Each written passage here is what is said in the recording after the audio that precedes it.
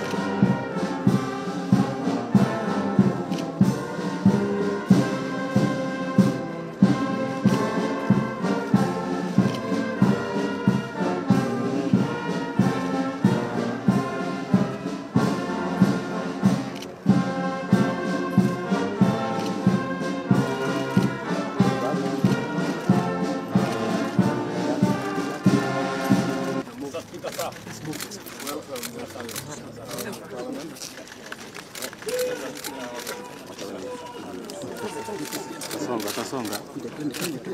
Twasonga ndio kiasi.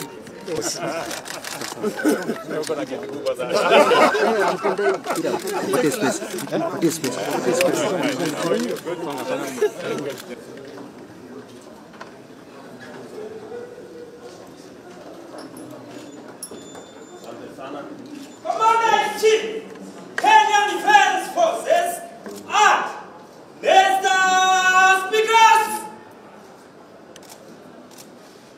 Your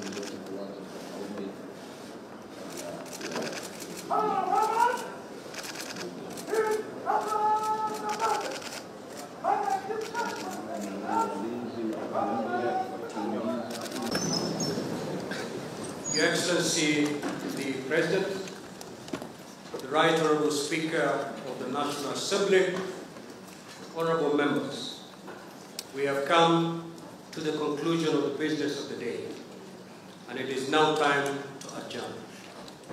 If the Honorable Chebukati is present the House, we have Honorable Lady Justice Maureen Onyango, Principal. Order. Thank you. Sorry, Court of Appeal. We have as all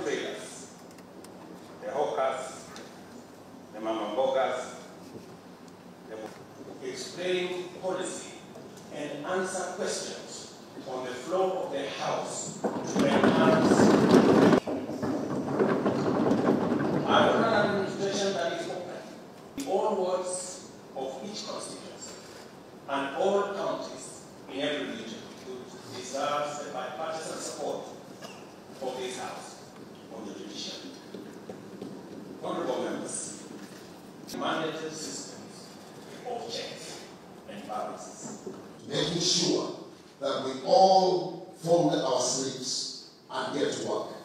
Because we have found this nation need One significant intervention is the resolve to abandon consumption subsidies in Moses Tanga, EDH MP, here is to take necessary measures to create an enabling environment path to wealth through and investment. Excellency, it is also custom of Parliament to recognize invited guests seated at the where we all came to grips with the turbulent energies of political competition that characterize our Kenya requires the President to address the opening of each newly elected.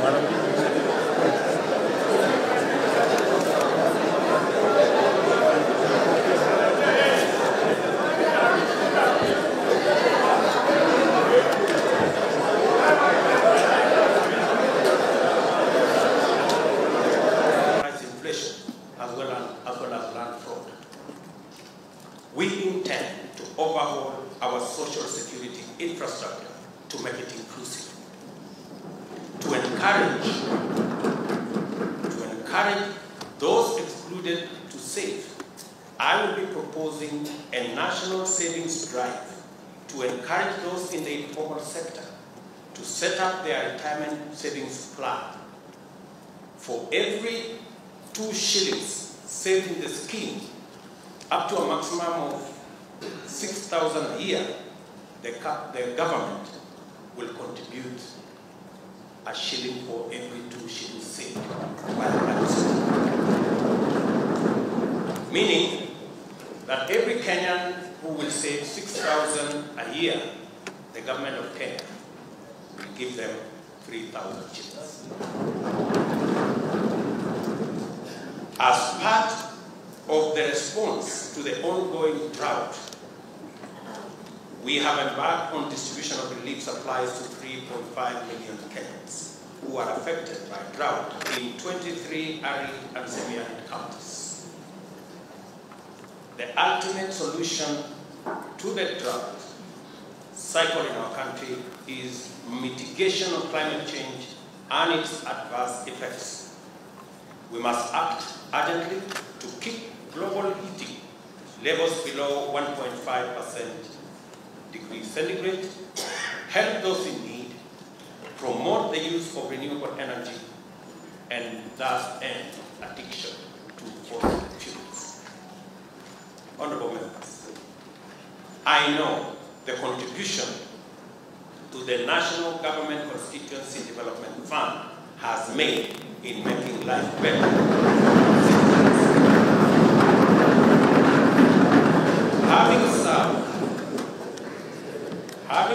In Parliament for 15 years, before and after the establishment of the National Government CDF, I know the difference it makes is monumental. I believe there is a way CDF can be aligned to the tenets of the Constitution. In this regard, I also hasten to add that both houses should also be adequately resourced for oversight duties. With regard to the Senate and its constitutional mandate, I believe the two houses should work together to set up the Senate Oversight Fund. This will be used to provide oversight of the millions of resources that are sent to counties. Honorable members, the people of Kenya rightly expect much of us. We have our work cut out. This is our chance to achieve real change by working together to make Kenya a land of equal opportunity for all where every Kenyan is proud to call home. Let us all play our part in the service of our employers, the people of Kenya. I will be making other statements going into the future. I will make my statement today short. May the good Lord bless you and God bless the great people.